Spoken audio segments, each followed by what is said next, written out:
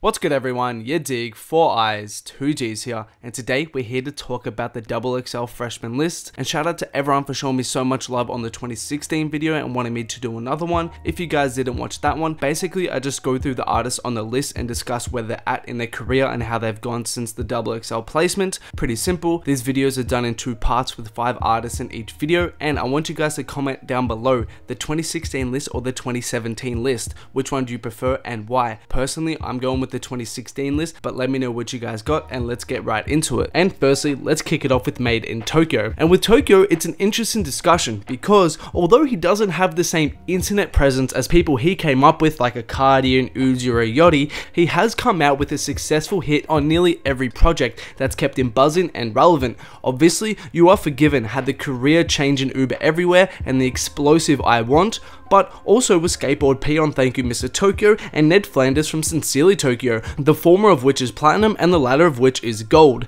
And it's quite odd because you don't really see many people talk about Tokyo or bring his projects up in discussions, but I think that's more so to do with the fact that he isn't on a major label. So compared to other artists who have that full money machine behind them, of course his presence isn't going to be the same. There's no denying the fact that he hasn't had a song on the same level as Uber everywhere, however not being on a major and still coming out with a hit on every project is impressive and hard to do so today. So definitely big props and you can always guarantee on Tokyo to come through with a banger or two. And Next, we move on to Playboi Carti.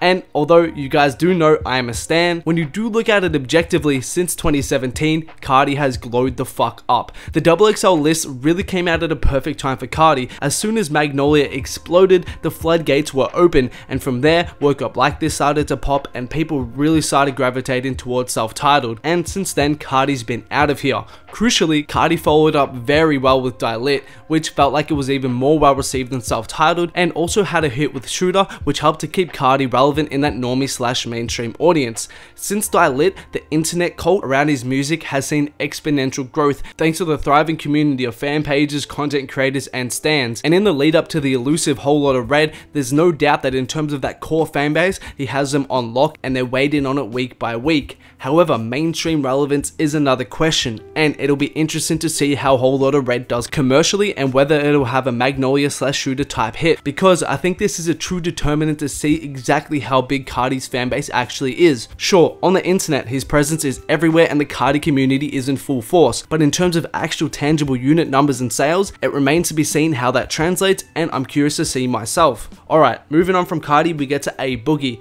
and Boogie is another artist that has glowed the fuck up since his XXL list. Like, seriously glowed the fuck up. Boogie took that female friendly R&B hip hopish lane that needed someone new and ran the fuck with it and all the power to him. Although the year before the XXL spot in 2016 was his breakout year with tracks like My Shit and Timeless, really 2017 was his establishing year in the mainstream. Drowning with Kodak Black really kicked the door fully down for Boogie and since then he's been non-stop with the hits, with well over 10 certified songs and 3 certified projects to his name in his short career that feat deserves praise. I'm not going to sit here and say his projects are classics, his sound is revolutionary, and act like it's anything but somewhat generic melodic R&B is trap, but that's not downplaying it, the numbers speak for themselves, and as I said in my last video, countless R&B artists have come and gone since their XXL placement, so sticking around for this long and growing still, you gotta give him props. And before we go on, a quick shout out from my Instagram. Big shout outs goes to Levi Eric 1719. Shout out to him for commenting on my IG posts and appreciate everyone showing me love over there. If you guys haven't, do make sure to follow me on Instagram at your dig. Also remind you about my Carti and Travis merch tees. They're fire and they're selling fast. So link in the description if you want to cop. Also make sure to comment, like, subscribe, turn on notifications, all that good YouTube stuff. But let's keep going with the list and move on to PNB Rock. Now, PNB Rock is in a bit of a middle place place. He hasn't fallen off and he's done enough to keep his buzz and his name growing, but it's not like he's been really able to establish himself as a solo artist and really go on a crazy run like someone like Boogie has. Namely, because he's been on a bit of a dry spell and his last proper hit was in 2017. It's also important to mention that pretty much every song of his that has kept him relevant since his solo breakout track Selfish in 2016 has been bolstered with at least one huge name. 2017 hits from the Fast and Furious soundtrack, Gang Up Up and Horses had Young Thug, 2 Chainz, Wiz Khalifa on the former, and Kodak Black and A Boogie on the latter. And even in 2019 alone, his biggest songs have been with Skies, Triple X, Nicki Minaj, and he even somehow landed on Ed Sheeran's album alongside Chance the Rapper.